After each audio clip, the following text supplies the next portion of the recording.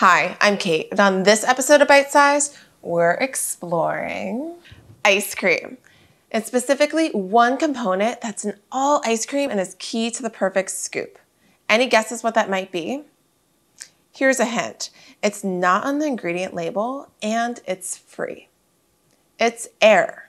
Now, at first, it might seem weird to think that air actually makes up a good portion of this pint, but then if you take a step back and think about it, it makes sense because without air, this would basically be a big block of ice that wouldn't be very enjoyable to eat and would be impossible to scoop.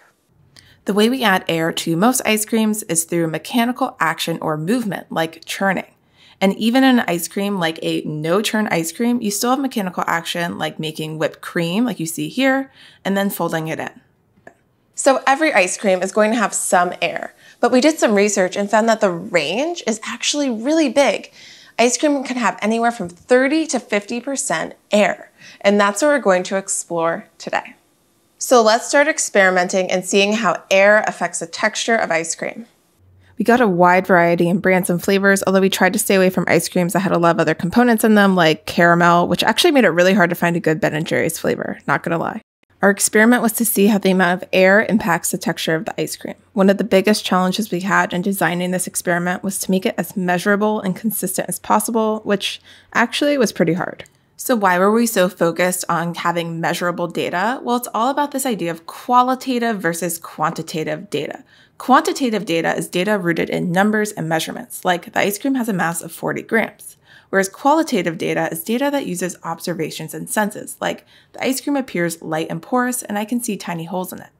While both definitely have value, the issue with qualitative observations is that they are subjective. What I may consider light, someone else may not, which is why we wanted to use quantitative observations, observations that are measurable and have clear numbers and values. By using a scale, there's not really any room for interpretation on the overall weight of this ice cream. Ideally, we all have the same exact value, but that's also making some assumptions and assuming that there's no human error or limitations, which also just isn't really the reality in this type of experiment. So, based on our question, our independent variable was the amount of air in ice cream. We wanted to see the effect of air on the ice cream texture. So, the amount of air is our independent variable, which is a variable that's tested in an experiment to see how it affects another variable also known as the dependent variable. And in this case, our dependent variable is the texture of the ice cream. All right, let's get back to the experiment. So based on our question, our independent variable, which is the variable that we're testing to see if it has an effect on another variable, is the amount of air in ice cream. We wanted to see the effect air had on the ice cream texture. And so our dependent variable is the texture of the ice cream. Sometimes we think of independent and dependent variables as cause and effect. So in this scenario, the cause is the air in the ice cream and the effect is the texture. Now that we have our variables set, let's think about how we're going to measure both of them. Let's start off with independent variable, the amount of air in ice cream. So how would we measure the amount of air in each different type of ice cream? Well, there's probably a variety of ways to do this, but here's how we decided to do ours. So we decided to measure the density of each ice cream. Why density? Well, air is a gas and it's super light. So a food that has a lot of air, like marshmallows, is also going to be light because of the amount of air in it, and so it won't be very dense. Our thinking was that if the ice cream had a low density, it was probably due to the percentage of air in it. So to measure density, we needed both the mass and volume of each ice cream. So we took a single scoop, a consistent volume of ice cream, and measured out the mass of each one. So, in theory, this sounds great, but practically, it did not really work the way that we intended. Because the ice cream was so frozen, we could barely even scoop it out. And so the scooper was definitely not full, and we weren't actually getting a consistent volume. So, we needed to rethink things. Our second idea was weighing out each pint. We figured the volume was consistent because the manufacturer had filled the pint, and so we could just weigh out the pint of each one. However, this also had some shortcomings because the container also had mass. We did weigh out two containers and saw that they had the same amount of mass, but we didn't weigh out all of them, so we also felt like this actually wasn't great either. So we actually went back to the original method, but this time we decided to keep the ice cream out for a little bit longer so it was easier to scoop and a little bit softer. So the ice cream soup was actually pretty full, and we felt like the volume was a lot more consistent. Was it perfect? No.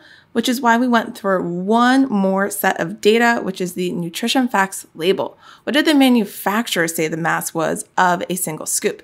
Now, they do have it as two thirds of a cup, and our scooper was a quarter cup, so we had to do some conversions, but here you can see all of our data. So there were some differences in our measured value of a quarter cup of a scoop of ice cream versus what the label said, but it was at least a consistent difference. Our measured value for almost all the ice creams was consistently a little bit higher than what the label said. While it wasn't perfect, we felt like between all of our different sets of data, we were able to have a clear grouping of ice creams from most mass to less mass to least mass.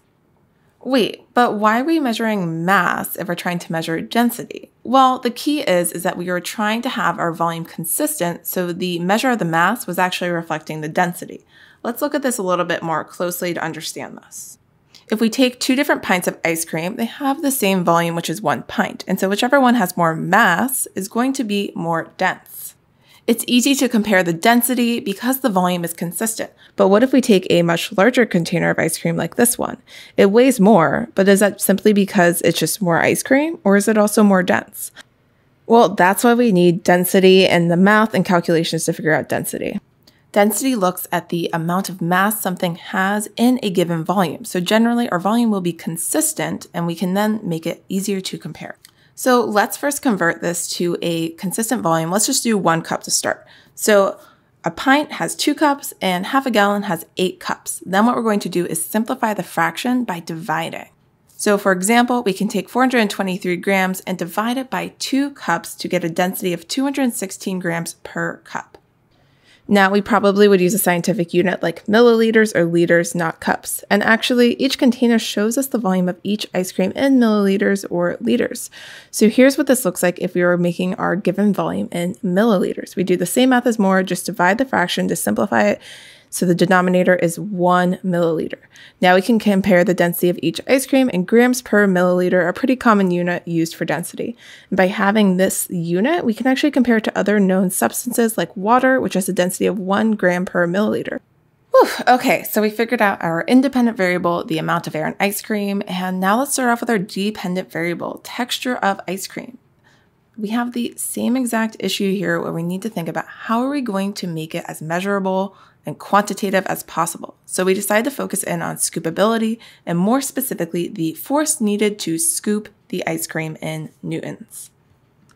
Now, again, this wasn't perfect. You can see the numbers, they were a bit all over the place, and it was really hard to keep the container in place without slipping.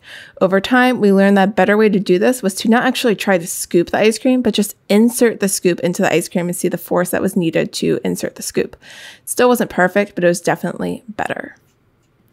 Our hypothesis was that the more air the ice cream has, the easier it will be to scoop because basically, if the ice cream was less dense, it would require less force to push something through it.